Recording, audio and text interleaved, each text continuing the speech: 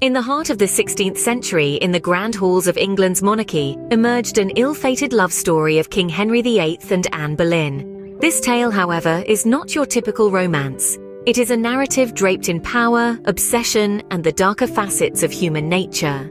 Our story begins in the opulent court of King Henry VIII, a man already shackled in a loveless marriage with Catherine of Aragon. The king, known for his insatiable desire for power, pleasure, and his need for a male heir, was easily ensnared by the allure of the vivacious, intelligent, passionate Anne Boleyn. She was unlike any woman he had ever met. She was a woman who dared to match his wit, who dared to challenge his authority. However, this narrative was far from a straightforward account of a king's affection for a lady in waiting. Rather, it was a complex saga where themes of love and desire were intricately woven with elements of personality disorders, political machinations, and religious undertones. King Henry, so smitten by Anne's charm, pursued her relentlessly. He penned passionate letters, showered her with extravagant gifts, and promised her a life of royal splendor. Yet Anne manipulatively resisted his advances, refusing to become another one of the king's many mistresses. This refusal only fueled Henry's obsession. Unable to bear the thought of not possessing Anne, he embarked on a path that would shake the very foundations of England. He challenged the sanctity of his marriage, defied the authority of the Pope, and caused a religious upheaval that led to the creation of the Church of England. All in the name of love, or perhaps in the name of obsession. And so amidst the chaos, Anne Boleyn ascended to the throne, becoming Queen Anne, the second wife of King Henry VIII. But this ascent was not born out of pure and innocent love. It was a product of power games, manipulation and strategy, of a narcissist's desire to possess, and a borderline's need to be needed and desired. Thus began a love story, or rather a power play, that would change the course of English history. Henry VIII, a king known for his ruthless tactics and volatile temper, displayed signs of what modern psychology would categorize as narcissistic personality disorder. King Henry VIII, a figure larger than life, held a grandiose sense of self-importance, viewing himself as a divine entity, anointed by God, answerable to no one. His reign was marked by a constant need for admiration, a thirst that could never be quenched. Courtiers, subjects, wives, all were expected to feed this insatiable ego, their praise and adulation his lifeblood. Yet behind this grand facade lay a chilling lack of empathy, the king's interests, desires and whims came first, often at the expense of others. He was manipulative, using his charm and power to bend wills and break hearts. King Henry VIII, a man of power and ego, was more than just a monarch, he was a textbook narcissist. Anne Boleyn, a woman of charm and wit, exhibited traits of what we now understand as borderline personality disorder. She was like a flame, burning bright, volatile and combustible at times fierce but ever love-hungry and jealous. She was equally susceptible to the winds of change. Her impulsive decision-making was a hallmark of her character, a trait that, while making her life intensely interesting, also led her down paths of great turmoil.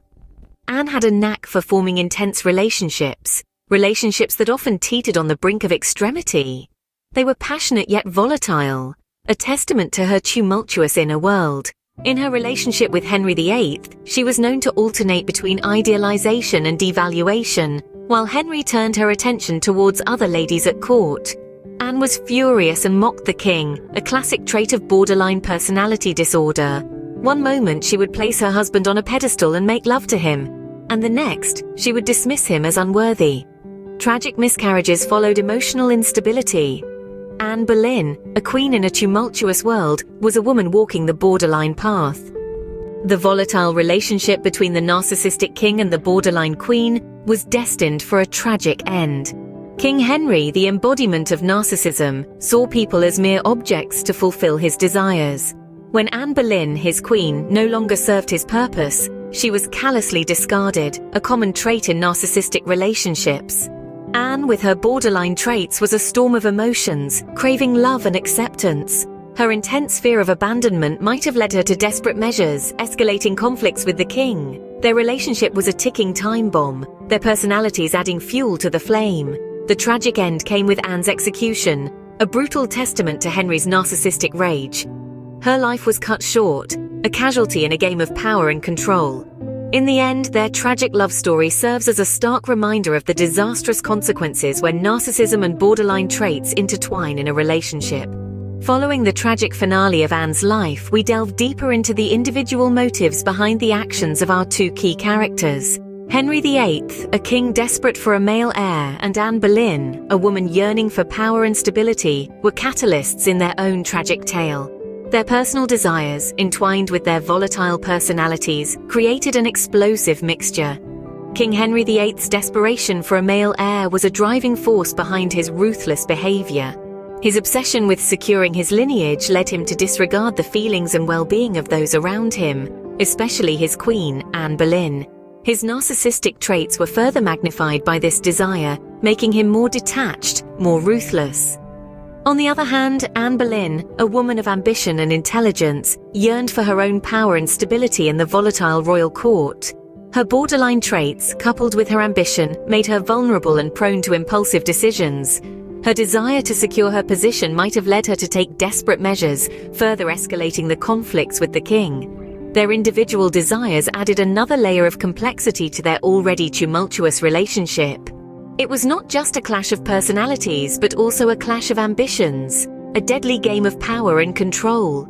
Their desires, while seemingly simple, had far-reaching consequences, ultimately leading to a tragic end.